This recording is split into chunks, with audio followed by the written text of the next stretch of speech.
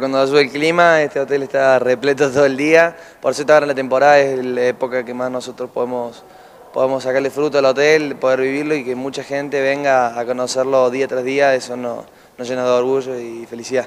Valen, es un, es un polo obviamente cultural, de, arte, pero también en cuanto a lo artístico, a través del teatro y todo lo que podemos llegar a hacer, porque no es solo venir a las tradicionales guiadas. Mm, no, tenemos dos visitas, diurnas, nocturnas, muestras de arte, muestras de culturas, Museo de Cine e Infancia, un parque aéreo que se llama Vida Maná, el Teatro Edén que fue inaugurado en el año 2018, las canchas de tenis, el Hotel Boutique, la Posada del Edén, la Universidad del Siglo XXI, es un complejo recreativo histórico-cultural basado en visitas guiadas con un montón de cosas que, pueden venir a disfrutar acá adentro. Bueno, contame la impresión que se, que se lleva la gente, sobre todo el que viene por primera vez, ¿no?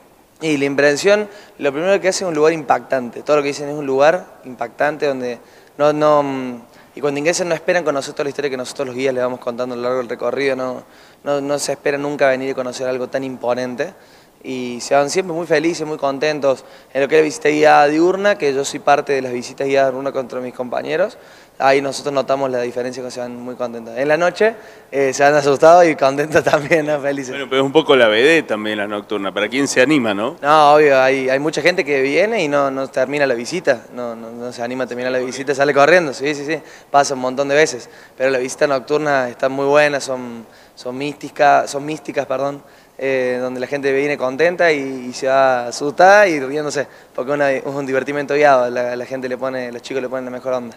Eh, vale en un lugar cargadísimo de historia porque aún con estas guiadas, tanto la diurna como la nocturna, no se llevan, en realidad no, no, da el tiempo para contar toda la información y toda la historia que el lugar tiene. Obvio, sí, nosotros tendríamos que hacer una visita completa, tendríamos que estar 6, 5 horas acá adentro haciendo la visita, eh, por cuestiones de tiempo tenemos que hacer una hora 40, una, dos horas, eh, nosotros le damos nuestro máximo esfuerzo y lo lindo que tiene esto, que cada guía le pone su impronta, le pone su historia, eh, hay guías que cuentan una cosa que otros no, y yo cuento cosas que mis compañeros no, entonces está muy bueno porque cada, si alguien viene a repetir visita, todo el tiempo se va encontrando algo nuevo, algo diferente, y eso, eso es lo lindo también.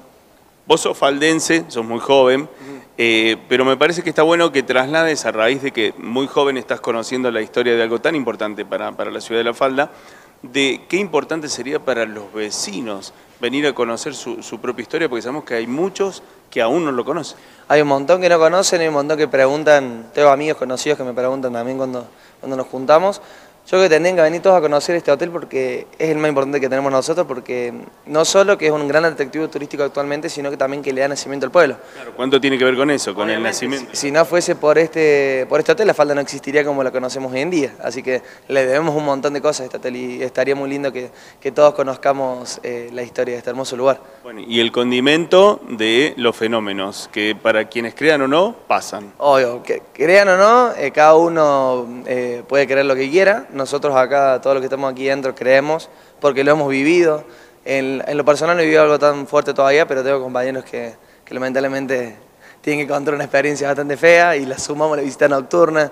Eh, y tengo todos compañeros que, hace años que trabajan acá y, obviamente y todo eso nos van transmitiendo a nosotros y nos van transmitiendo el miedo y el respeto a estas cosas. Nosotros, aunque no lo crean y nos vean inexpertos, tenemos algo de capacidad ya con esto, porque día a día vamos aprendiendo.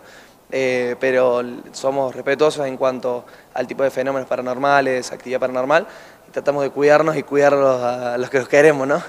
Valen, bueno, de decir el, costo de la entrada, recordando un dato importantísimo, que para la gente local es gratuito. Exactamente.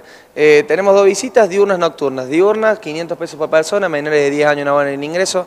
Si sos parte de la ciudad de La Falda, con el DNI, presentándolo, tenés el ingreso gratuito para hacer todo, las visitas guiadas, etcétera.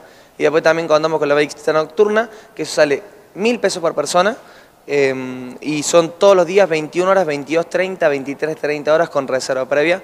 Menores de 5 años no van el ingreso, así que los esperamos todos. Si no, si no vinieron a conocer este hermoso lugar, ya tienen que estar viniendo acá.